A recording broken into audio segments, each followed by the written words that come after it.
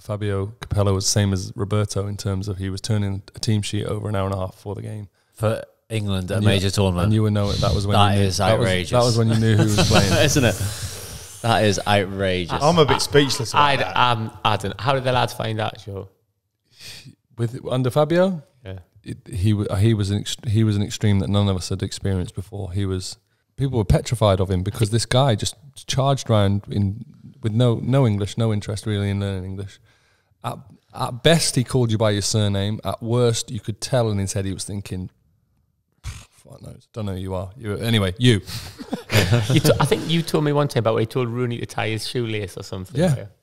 Rooney Rooney, lace. laces, Rooney laces, and he was like, what? Eh, no. In fact, I think Crouchy was the only one who he actually crouchied off, who had any sort of other name other than a, a surname, and it was like Terry Gerrard Beckham. That was the, that was just how people were spoken to. Um, You can't do that to Beckham, can you? exactly. That's mental to think about that. So just, How- how just did treating them resp- How did the like lads respond to that, Joe? just did as you were told.